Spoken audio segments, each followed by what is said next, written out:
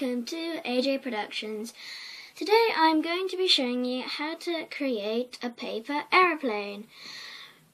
Make sure to, I hope you like my first video, make sure to like and subscribe to this video. So here we go. You'll just be needing a piece of paper today. That's all you need and some great folding skills. So here we go.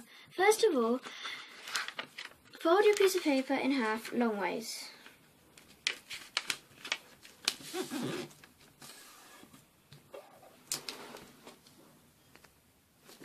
This. As you can see,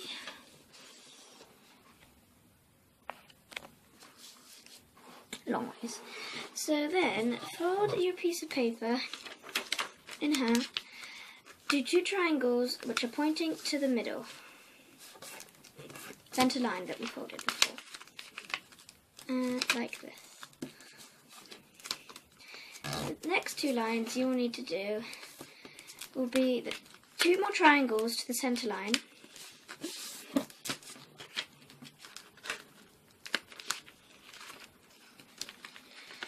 Just saying is that if you um, would like to, you may use coloured paper to make paper airplanes, your choice.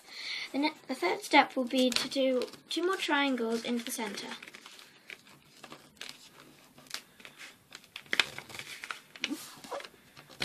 Fold down hard.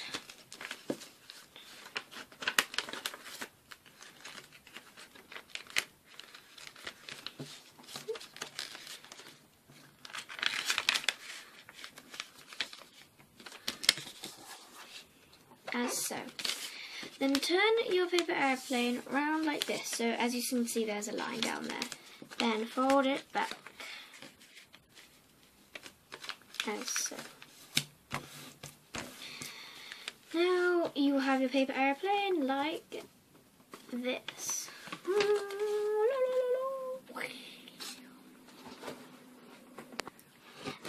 Created your paper airplane, you may decorate it however you want. But for now, I'm just going to be leaving this white paper airplane as so. Hope you enjoyed the video. Make sure to like and subscribe to my channel. Bye!